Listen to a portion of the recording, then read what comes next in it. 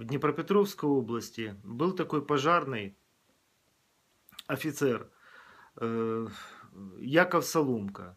Мы его все запомнили в первую очередь о том, что э, он писал стихи. И очень много, э, очень много стихотворений он написал о пожарных. Я хочу зачитать вам одно из его произведений. Называется оно «Слово о пожарных». «Не служат они на далекой заставе, машины без грозной брони. Но служба людей этих все-таки вправе считаться солдатской сродни. Присяга в том будет им верной порукой, они не свернут с полпути, а руки, солдатские добрые руки, помогут беду отвести. И небо, и солнце вернут они детям, согреют и смех воскресят.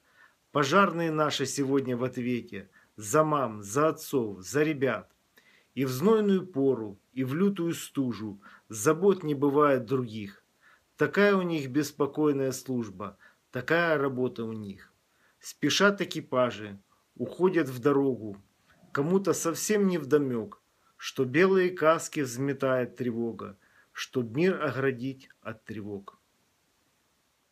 Дорогие братья пожарные, если кто-то из вас или кто-то э, из ваших близких или друзей, работающих в пожарной охране, сочиняет стихотворение, пожалуйста, публикуйте их на страницах Клуба пожарной охраны Украины.